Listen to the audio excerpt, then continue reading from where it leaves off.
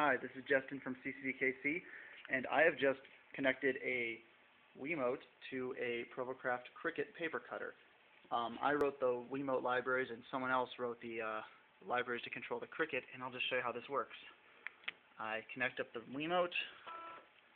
Um, you heard the Cricut go there. It started doing some uh, initialization stuff, and while the Wiimote connects, goes. As soon as it connects, you hear the it start to control the Cricut. There's a lot of jitter because it's just getting some some base data.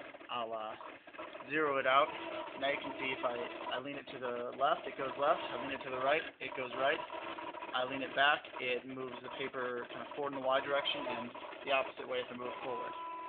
I can exaggerate it a bit, but you can see that the two are in fact connected.